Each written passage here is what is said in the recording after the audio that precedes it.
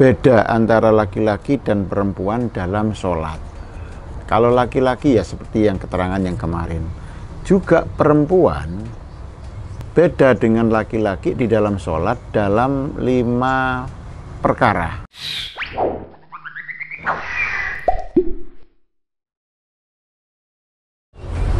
Yes. Nabi Muhammad sallallahu alaihi wasallam wa ala وأصحابه وأزواجه وذريته ثم إلى أرواح والدينا ووالديكم وأمواتنا وأمواتكم وأموات المسلمين. صلى الله الرحيم. ألف هذا الكتاب. أصوله وفريش أن لا إله الفاتحة. أعوذ بالله من الشيطان الرجيم. بسم الله الرحمن الرحيم. الحمد لله رب العالمين. الرحمن الرحيم. مالك يوم الدين. إياك نعبد وإياك نستعين. اهدنا الصراط المستقيم. صراط الذين أنعمت عليهم غير المغضوب عليهم ولا الضالين. Bismillahirrahmanirrahim. Qala al-mu'allifu rahimahullah ta'ala. Wal mar'atu utawi wong wadon ikutu khalifu. Nulayani sapa mar'a ar-rajula ing wong lanang fil khamsati ing dalem limang perkara al-madhkurati kang den tutur. Kalau kemarin ya pada pertemuan yang lalu kita membahas beda antara laki-laki dan perempuan dalam sholat. Kalau laki-laki ya seperti yang keterangan yang kemarin. Juga perempuan beda dengan laki-laki di dalam sholat dalam lima perkara yang telah disebutkan di atas. Fa innahu fa innaha tadummu ba'duha ila ba'din. Fa innaha mongko sak temene mar'ah wong wadon iku tadumu ngumpulno sapa se mar'ah ba'dha ing sebagiane mar'ah anggotane mar'ah. Ila ba'din maring sebagian kang liya. Batul siku mongko nemplekno sapa se mar'ah batnaha utawa nemokno sapa mar'ah batnaha ing wetenge mar'ah bifakhdaiha kelawan pupu lorone mar'ah fi ruku iha ing dalem ruku e mar'ah wa sujudiha lan sujude mar'ah. Yang pertama orang perempuan beda dengan laki-laki. Kalau orang perempuan di dalam sholatnya ketika rukuk dan sujud hendaknya perut menempel pada pupu apa pupu? Ya pupu ya. Jadi kalau orang laki-laki kemarin perutnya diharap menjauh dijauhkan dari pupunya tidak nemplek ke pupunya. Kalau perempuan hendaknya ditemplekkan ke pupunya ketika rukuk dan sujud. Itu perbedaan yang pertama di situ ya. Karena apa? Li annahu astarulaha karena dengan demikian itu lebih menutupi terhadap orang perempuan. Kalau laki-laki ya kemarin antara perut dan pupu ketika rukuk dan sujud hendaknya dijauhkan ya. Ya tidak ekstrim ya. Dibenggangkan. Jadi-jadi kemarin dibenggangkan ya tahfadulan ngelono sapa si mar'a sautaha ing suarane mar'a in salat lamun salat sapa mar'a bi khadratir rijali ing dalem ngarepe pira-pira lanang al ajani bi pira-pira kang liya. Kalau orang perempuan hendaknya memelankan suaranya ketika sholat di depan di hadapan orang laki-laki lain jadi kalau sholatnya perempuan itu di samping atau di hadapan laki-laki lain, di sekitar itu ada orang laki-laki, maka sholatnya hendaknya dipelankan suaranya, walaupun berjamaah, ya, walaupun berjamaah. Walaupun suara perempuan itu bukan aurat menurut pendapat yang kuat, ya. Jadi menurut pendapat yang kuat, suara orang perempuan itu bukan aurat. Karena apa kok wajib dipelankan? Karena daf'an lil fitnah. Karena untuk menolak terhadap fitnah. Fitnah itu apa? Tertariknya yang mendengar. Ya. Walaupun suaranya orang perempuan bukan aurat tapi kalau orang laki-laki mendengar suaranya itu bergetar hatinya. Itu namanya fitnah. Duh suara nih rek. Lo menda lo ini ada ya. Itu itu. Lo itu. Itu yang mengakibatkan. Walaupun bukan aurat. Katanya sini wa ingkanal asoh anna sautaha laisa bi auratin fala yahrumu sima usatil mar'ah walau mughanniyatan ya Menurut pendapat yang asoh, suara perempuan itu bukan aurat, maka tidak haram mendengar suaranya, walaupun penyanyi. Bisa. Walaupun penyanyi, tapi illa indah fil fitnah. Kalau khawatir fitnah, apalagi terjadi fitnah, kira-kira sampai mendengar suara itu, khawatir apa terjadi? Ya terjadi. Mendengar suara penyanyi yang enak itu ya sudah. Bergetar tertarik. Lah ini yang mengakibatkan nggak bolehnya di situ. Ya. ya. Apa fitnah itu? Bi angka nalawih talar rojulu biha lawako abainahuma muharramun. Ya. Apa fitnah itu? Jadi kalau seandainya setelah mendengar sampai berduaan dengan mereka dia kira-kira terjadi perkara yang haram apa enggak? Ya jelas ya. Mari kerungu nih ketemu wonge ya. Kira-kira ya apa? Kalau tidak terjadi apa-apa, ya berarti gak pati normal wonge. lah iya. Ya. Lo itu ya. Jadi jadi sekali lagi perempuan jika sholat di hadapan orang laki-laki, katakanlah di, di ada orang laki-laki lain, maka tidak sama dengan laki-laki kemarin. Ini dipelankan suaranya. Karena apa? Karena menolak fitnah. Fitnah itu tadi itu tertariknya si pendengar laki-laki tadi itu. Jelas laki-laki itu kalau mendengar suara perempuan, ya jelas dah, ya kayak si normal loh ya. Jadi tertarik ya, duh suaranya ya. Iya, itu ya. Walaupun sekali lagi suara perempuan itu menurut kaul asoh pendapat yang kuat bukan aurat maka tidak tidak haram mendengar suaranya perempuan walaupun suara penyanyi perempuan kecuali kalau takut fitnah. Bukan fitnah fitnah fitnah yang ada. Yang umum itu di fitnah bukan itu ya. Fitnah di situ itu ketertarikan untuk melakukan sesuatu jika dia jumpa dengan yang dengar itu. Lah. Jadi jadi itu ya. Kalau khawatir saja itu sudah nggak boleh apalagi ya wis ngrungokno kuwi nyene oh. Lah ini ya. Jadi fa in sholat mongko lamun sholat sapa si mar'a faridatan hali ijenan anhum ado sangking rijal jarot mongko banget no sapa si mar'a kalau sholat sendiri tidak ada orang laki-laki lain artinya laki lain lain itu bukan bukan mahram bukan muhrim ya. Kalau muhrimnya sih nggak apa-apa. Muhrim itu orang yang haram untuk dinikah itu muhrim. Kalau laki-laki lain orang yang boleh dinikah atau menikahinya itu muhrim ya. Jadi kalau memang sholatnya itu tidak ada orang laki-laki lain, laki-laki bukan muhrim tidak ada, maka sholatnya dijaharkan atau dikeraskan.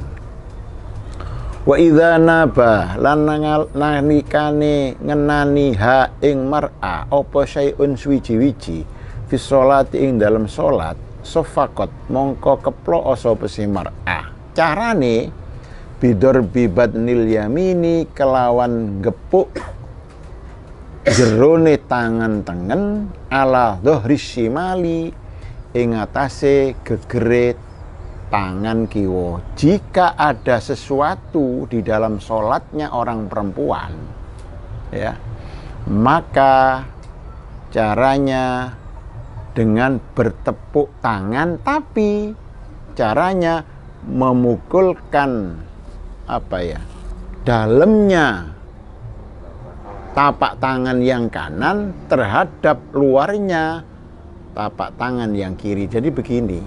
Lebih begini. Nah gini. Jadi kalau ada sesuatu di dalam sholat orang perempuan maka caranya mengingatkannya itu dengan keplok tapi keploknya keplok yang ada caranya sendiri. Kalau kemarin kalau laki-laki kalau ada sesuatu dalam sholat itu tasbih sama masalahnya seperti laki-laki kemarin bukan hanya untuk mengingatkan seorang yang ah, imam saja tapi untuk mengingatkan orang-orang yang seperti kemarin. Seorang perempuan sholat kok ada orang mau jatuh ke lum, ke sumur? Orang orang buta. Ya keplok. Begini. Lo dengan catatan seperti kemarin itu orangnya ngerti ya kalau nggak ngerti dikeplok iya pancet tambah nyelungup ya tambah banter ya katakanlah ada orang mau minta izin bertamu. Kalau kemarin kalau laki-laki itu namanya sedang sholat ada sesuatu. Ya apa? Tasbih, subhanallah. Kalau perempuan ya keplok. Ketika sholat orang perempuan kok ada Assalamualaikum, tok tok tok tok. Atau kulonwun. Ya apa? Ya keplok. Gini.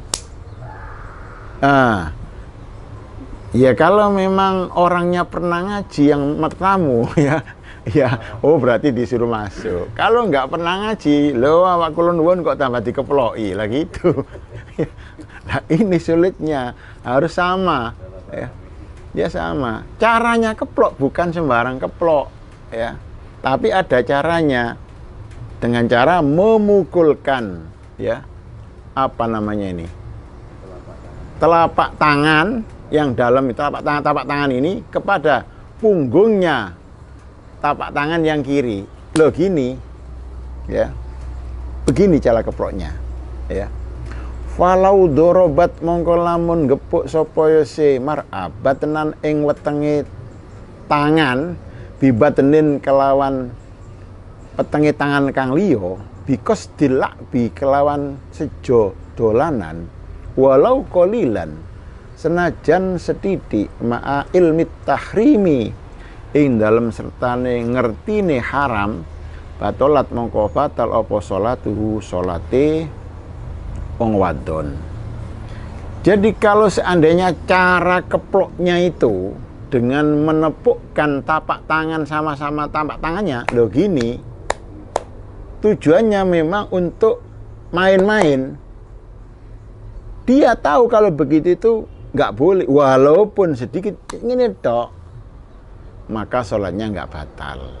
Jadi gini, ya. Jadi cara mengingatkannya perempuan dengan keplok itu ada delapan, ada delapan. Yang diperbolehkan itu yang enam, yang dua tidak diperbolehkan. Jadi di sini fal, fal hasilu annal kaifiyati samanin al matlub minha sitatun. Jadi cara keplok itu ya ada delapan. Tapi yang diperbolehkan itu cuma enam. Yang dua tidak. Ya.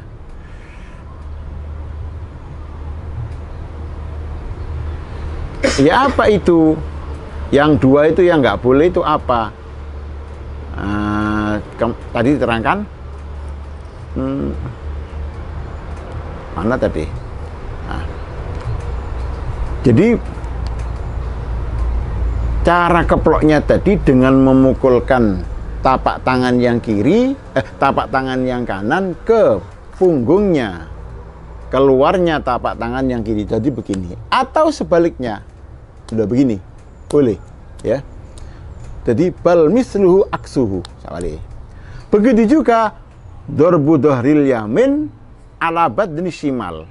Begitu juga boleh punggungnya tapak tangan sama punggung ya tapak tangan yang kanan dipukulkan kepada punggungnya tapak tangan yang kiri begini nah, begini boleh, begini boleh dua, begini boleh tiga, ya tiga.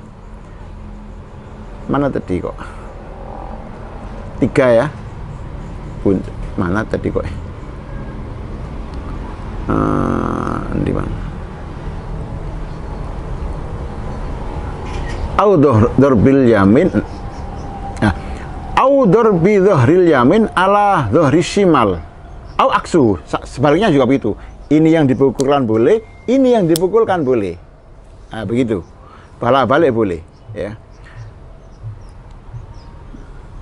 Bikhilafi dorbi batnil yamin ala batnil shimal Au aksu Beda halnya memukulkan perutnya tapak-tapak tangan yang kanan dengan tapak tangan yang kiri. Ini yang tidak diperbolehkan. Atau sebaliknya, ini yang dipukulkan. Ini yang mukul nggak boleh, ini yang mukul nggak boleh. Jadi di sini terangkan fal hasil annal kaifiyat samanin. Cara mengingatkan sholat bagi orang perempuan yang sedang sholat ketika ada sesuatu, ya, dengan pakai tepuk tangan itu yang tidak boleh dua. Apa? Begini nih sih nggak boleh wis. Entah ini yang digepukkan sini atau ini yang dipukul-pukulkan. Ini yang tidak diminta untuk cara yang lain boleh. Begini boleh. Begini boleh. Sama begininya boleh. Itu sama bolehnya. Nah gitu. Ya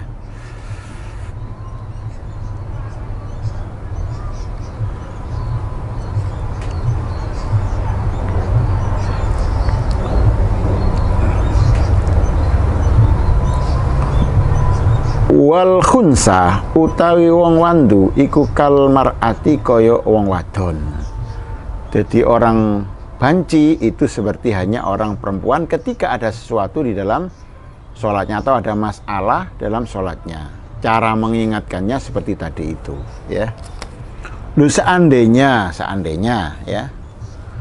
Orang laki-laki tidak bertasbih tepuk tangan ya. Ya. Ya, ya apa kalau gitu ya? Wa kadza law safaqa rajulu fa innahu la yadurru. Enggak apa-apa.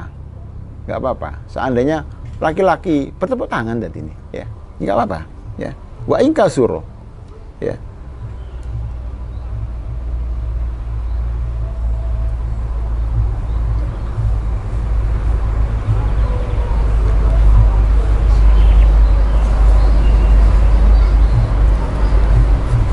Tapi ini ada juga perbedaan pendapat. Jadi ad, kalau ada masalah atau sesuatu dalam sholatnya perempuan itu disuruh tepuk tangan. Jadi di, di, di caranya diterangkan aywa ingkanat kholiyatan anirijal senajan tidak ada orang laki-laki lain. Tepuk tangan. Jadi senajan tidak ada laki-laki lain. Menurut pendapat yang kuat seperti itu. Jadi masalah dalam sholatnya perempuan ada masalah, maka cara mengingatkannya itu dengan cara tepuk tangan walaupun tidak ada laki-laki lain di sampingnya. Itu pendapat yang kuat, ya. Menurut Imam Zarkasi ya dan pengikutnya bagaimana? Khilafan lizarkasi wa man tabi'ahu haitsu qala inna tasabbaha khina idin. Ya.